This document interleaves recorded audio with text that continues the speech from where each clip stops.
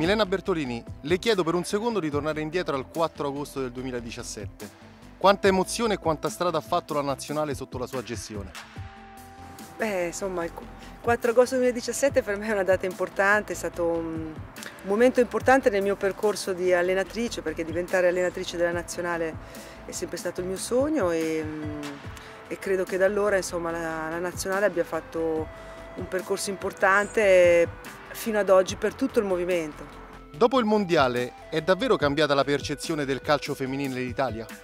Credo che sia cambiata la percezione perché il Mondiale ha dato un impulso fortissimo, ha fatto conoscere il calcio delle ragazze a tutta l'Italia e, mm, e, adesso insomma, la percezione della giocatrice di calcio è diversa, della, la bambina si pensa come calciatrice e, e adesso insomma, il calcio femminile si è messo in moto e, e non si ferma più.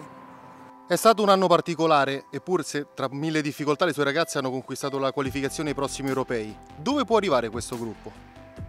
Le ragazze sono state veramente brave perché non era scontata questa qualificazione, considerato tutto il contesto, la pandemia, ma soprattutto un girone con una delle squadre più forti in Europa.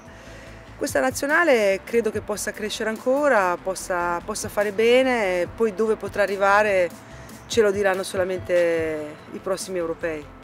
Ha paura che le aspettative si siano alzate troppo o è giusto confrontarsi con le realtà più affermate? Ma penso che questo faccia parte del gioco e se vogliamo crescere, vogliamo migliorare, dobbiamo confrontarci con le squadre più forti, dobbiamo anche cominciare a sopportare un po' le pressioni perché insomma è un po' il rovescio della medaglia, nel momento in cui tutti ti cominciano a conoscere, ad apprezzare e, e poi c'è anche questo aspetto. Ma credo che insomma, se lo riusciremo a gestire con equilibrio sarà un, un valore aggiunto per noi. Cosa la rende più orgogliosa del suo lavoro con la nazionale?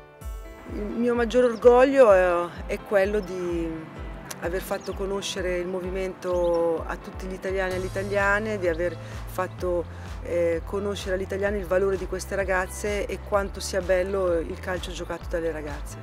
Sta provando tante giovani, si ragiona sempre più in ottica futura quando si allena una nazionale?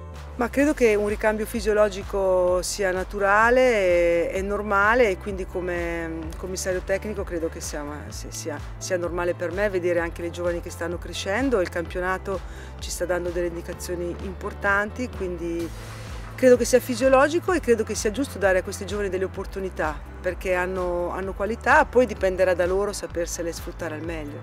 Qual è il margine di crescita che l'ha sorpresa di più di queste ragazze? La convinzione, la convinzione nelle proprie qualità, la crescita nell'autostima. Probabilmente noi abbiamo sempre vissuto con un senso di inferiorità rispetto alle altre nazionali e anche il modo in cui approcciavamo le partite, come ci eh, eh, affrontavamo le partite era un modo un po' troppo difensivistico e remissivo e invece in, questo, in questi anni secondo me loro hanno fatto un salto a livello mentale, hanno cominciato a credere nelle proprie qualità che, che sono tante. All'inizio le ho chiesto di tornare indietro per un attimo. Ora le chiedo cosa si aspetta dal futuro. Ma dal futuro mi aspetto 100.000 tesserate in Italia, mi aspetto le bambine che già a 5-6 anni vanno a giocare a calcio insieme ai maschi, mi aspetto squadre miste e, e mi aspetto un cambio culturale da parte insomma, della, nostra, della nostra società.